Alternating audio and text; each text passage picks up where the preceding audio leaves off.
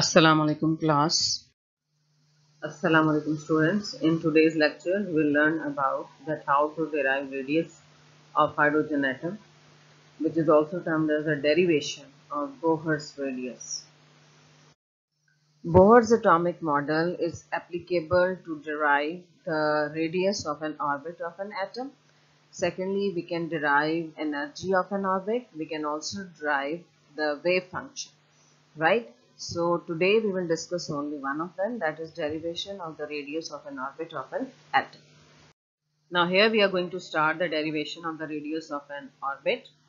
Now Bohr uh, derived the expressions for the calculations of the radius of the nth orbit. nth orbit means any orbit of an atom of mono electronic system like that of hydrogen or ions like that of helium plus 1 carry 1 electron and lithium plus 2 ion which carry only 1 electron. Right? Now look at this slide. Here it is given an atom uh, in which we say that the, an electron is revolving around the nucleus. Look at this which is represented with the green color. This nucleus is having charge on it that is plus charge on it due to the presence of the protons sided as you know that protons they tell you about the atomic number. So z represents the atomic number while e represents the charge right? Now similarly this electron is having the charge on it that is with the negative sign. It has some mass which is represented by small m and it has the velocity which is represented by v as you know that electron is moving in a circular path around the nucleus so its velocity is changing throughout. Right? Now this one is the an atom which is given it's all the particulars with the symbols which will be further used in the derivation. Now here if the system to work, that is two electron to move in the circular path, it is necessary that the two forces acting upon them uh, that should be equal, right?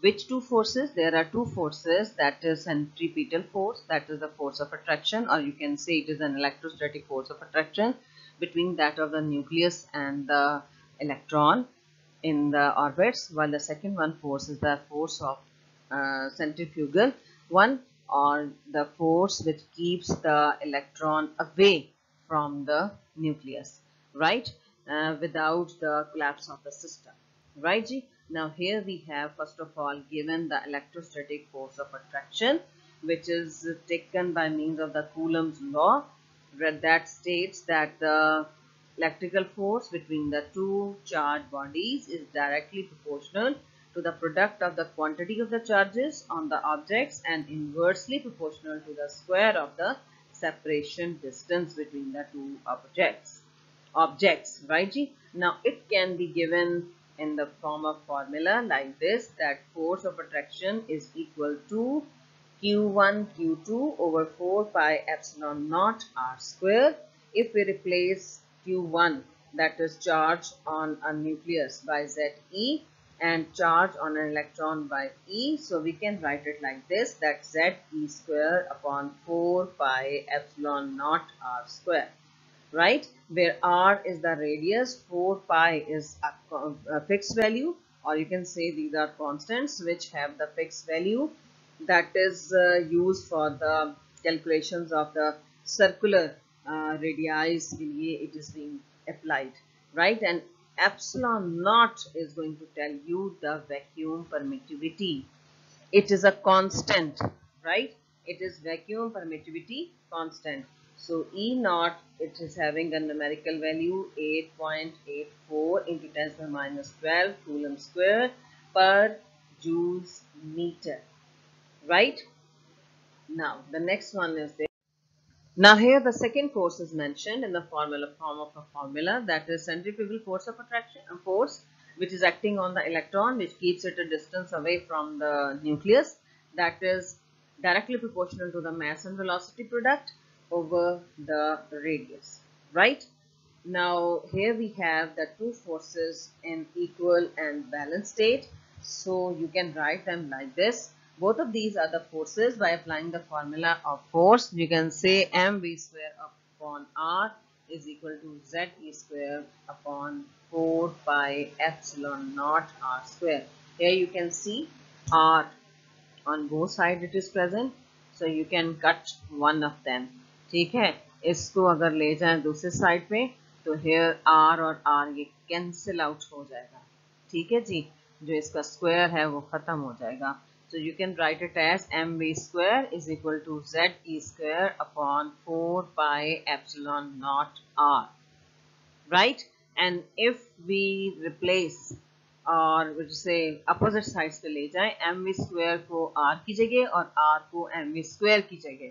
So so, एक वहाँ denominator में और एक यहाँ as a numerator है तो दोनों की जगह चेंज करेंगे तो equation will come like this r is equal to z square upon 4 pi epsilon naught mv square ये epsilon naught है बेटे इसका डॉट आपको जो लगाना होगा right now here the next now students in the previous equation to find out the value of the v square we have to use the Bohr's postulate that is angular momentum is equal to nh over 2 pi. Take out the value of v from it. So it will turns like v is equal to nh upon 2 pi mr. Now this can be uh, doubled by means of taking a square so it turns like V square is equal to N2H2 over 4 pi naught, uh, 4 pi square, M square and R square. Now we have V square in the denominator. So take an inverse of it. 1 upon V square is equal to 4 pi square M square R square over N2H2. Now put this value in the previous. Now placing the value of v square in this equation, this one is the equation which we have to use. जिसमें हमें v square की value जो कि denominator में था उसको रखना था हम इसको ऑलरेडी कन्वर्ट कर चुके हैं वन अपॉन वी स्क्वायर है so that you can place it now r is equal to z square upon 4 pi epsilon naught m multiplied by 4 pi naught m square uh, pi square m square r square over n2h2 now here कुछ cuttings इसमें से चली जाएँगी आपके पास में। Four cancel out हो जाएगा फाइव एक रह जाएगा एम भी एक रह जाएगा आर बाहर वाले आर से कैंसिल आउट कर देगा इसको, इसका स्क्वायर खत्म हो जाएगा, नीचे रह जाएगा एन स्क्वायर और एच स्क्वायर आपके पास में इक्वेशन कुछ ऐसे ट्रांसफॉर्म हो जाएगी। You can write it like this one upon one Z E square now it is square not it is the ये सबस्क्रिप्ट में नहीं है, आपके पास में ये स्क्वायर है E square pi M R upon epsilon not N two H two ये आपके पास इक्वेशन जो है वो ट्रांसफॉर्म हो जाएगी। आप इसकी कर लें क्रॉस मल्टीप्लिकेशन ये तो ये आपके पास में Z square pi M R is equal to E not N two H two आ जाएगा. आर इसमें से बाहर निकाल लीजिए, आपके पास इक्वेशन टर्न हो जाएगी like E not N square H square upon Z square pi M right now what you have to do, look at this. Hydrogen के लिए जेड की वैल्यू है आपके पास में only one so R is equal to E not N two H two ये H two नहीं, यहाँ पे नहीं, ये यहाँ आएगा ऑन H. ठीक है? This one over Z square by M. इसमें आप अगर प्लेस कर देते हैं, Z की जगह वन क्योंकि hydrogen is the atom on which it is applied so ये बन जाता है R is equal to E not M square H square over E square by M E square by M now आप जरा इस equation को proper way में लिख लेते हैं। That one is e naught n square and h square upon pi m e square. क्योंकि one से मल्टीप्लाई करेंगे भी तो वैल्यू यही रहेगी। Now here all the things are, or all the parameters which are given over here they are constant which ones the value of epsilon naught is constant h square की value Planck's constant है ये इसकी value भी fix है pi की value fix है 22 upon 7 होती है या 3.14 होती है mass is fixed charge is also fixed तो वेरिएबल क्या है यहाँ पे एन एन क्या रिप्रेजेंट करता है which one orbit orbit one two three और वॉट ठीक है? सो इन सबको आप इक्वलेंट ले लें. That is R is equal to N square is not that is E not H square upon pi M E two को equal ले लें ए नॉट के. ठीक है? और इसको कांस्टेंट ऑफ़ प्रोपोर्शनलिटी बना लें। The only variable is this one that is N square right तो हमारे पास इक्वेशन कुछ यूँ आ जाती है। नाउ दिस वन इज़ बेटे ये सारे कांस्टेंट्स हैं ई नॉट एच टू जैसे मैंने कहा पाई और एम ई स्क्वायर ये सब कांस्टेंट है। जब आप इनकी वैल्यूज़ लेंगे तो ये एक फिक्स क्वांटिटी आपके पास में आ जाएगी। क्योंकि वेरिएबल यहाँ पर सिर्फ़ नाइन एन है। That is N represents the shell number that which one shell you are considering अगर शेल वन है तो वन स्क्वायर आ जाएगा शेल टू है तो शेल टू स्क्वायर आ जाएगा शेल थर्ड है तो थ्री स्क्वायर आ जाएगा एंड थ्री स्क्वायर आ बिल्कुल, ठीक है? तो ए नॉट की वैल्यू एक फिक्स वैल्यू है आपके पास में, जिसको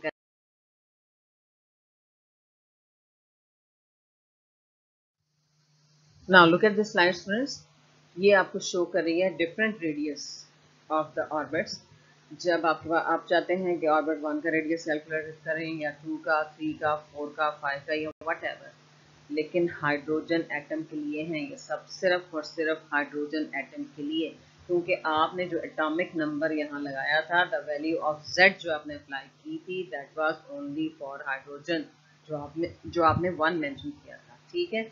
अब यहाँ पे r1 is the radius of first orbit, r2 is the radius of second orbit, r3 is the radius of third orbit, r4 is the radius of fourth orbit. किया क्या है आपने? A नॉट की फिक्स वैल्यू ली है और उसको multiply किया है by the square of the orbit number ठीक है? शेल वन है शेल टू है शेल थ्री है शेल फोर है वट एवर नाउ बहुत ध्यान से देखें जो वैल्यूज़ आपके पास में आ हैं उनको द फ़र्स्ट वैल्यू और सेकंड वैल्यू आपके पास में लार्ज वैल्यू है। द फ़र्स्ट वैल्यू से द सेकंड वैल्यू है। और सेकंड वैल्यू का ऑलमोस्ट डबल है जो थर्ड वैल्यू है। और थर्ड वैल्यू का ऑलमोस्ट डबल है जो कि फोर्थ वैल्यू है। फोर्थ शेल की वैल्यू है। Now you can see here the radius is on increase when we move जो न्यूक्लियस के करीब होगा, उसका रेडियस सबसे छोटा होगा। जो उसे ऑनवर्ड बढ़ता चला जाएगा तो रेडियस का साइज़ भी बढ़ता चला जाएगा। और इन इक्वेशंस को यूज़ करके आप दो रेडियस का डिफरेंस भी कैलकुलेट कर सकते हो कि एक ऑर्बिट और दूसरे ऑर्बिट के दरमियान में कितना डिस्टेंस है। ठीक है?